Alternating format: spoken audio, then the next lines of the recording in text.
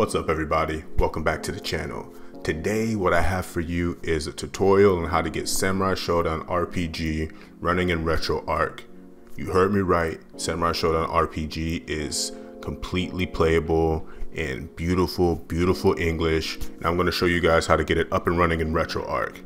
Now I have made a tutorial about this that I uploaded earlier, but there was some misinformation in there. So I want to get all that out of the, or straightened out and just get the correct info out for you guys. So let's go ahead and get started.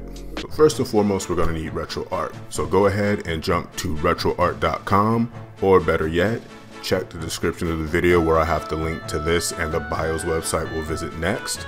But once you're in RetroArch, just head to download, scroll down to your platform of choice and go ahead and download the emulator and go ahead and just get that installed right off the bat.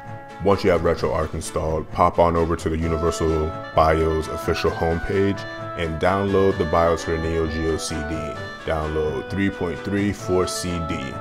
And this right here, these are the BIOS for the MVS AES systems or the cartridge system. If you're interested in emulating that, you can also do that in RetroArch and these are the BIOS that you'll need for that. Alright, so once you get RetroArch installed, it's gonna look like this once you pop in the folder. It's gonna have all these files down here, all these folders. What you wanna do for your Neo Geo CD BIOS, and this is where I got it wrong last time guys, we're gonna get it right this time. Head over to System, and then you're gonna wanna create a Neo Geo CD folder. And then once you get that folder created, this is where you unzip your BIOS right there in that Neo Geo CD folder. And then what I did is I created a ROMs folder in RetroArch. It doesn't make one for you. And then I created a Neo Geo CD folder just to keep that organized. And then this is where I unzipped Samurai Shodown RPG. It's going to look like this once you unzip it. All these bin files here and then the cue file down at the bottom that's what you're going to choose to run the game. So let's go ahead and jump into RetroArch so I can show you guys the last couple of steps to get this going. Alright, so we are in the main menu for RetroArch. And what we want to do from here first is get our controller set up. So go over to settings. Oh, come on mouse, there we go. Input. And then we want to go to port 1 controls. It'll show you here if you have a controller plugged in, which controller you're using and then from here you can get everything set up. From there, we want to go ahead and load up the game. All right, here we are. And like I said before, you're going to want to boot the cue file. And then suggested cores, these are just the emulators that the RetroArch thinks you can use to boot the game. We want to do SNK Neo Geo CD.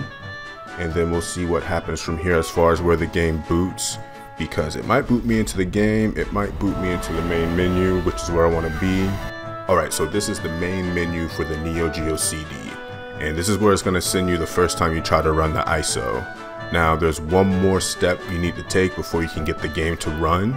So on your controller or whatever you have, hit select wherever you map that, and what you want to do is change your region to JP and your system to CDZ. And now go ahead and exit that menu. For you guys, once you exit the menu, it'll boot up automatically and it should start Samurai Shodown RPG for you.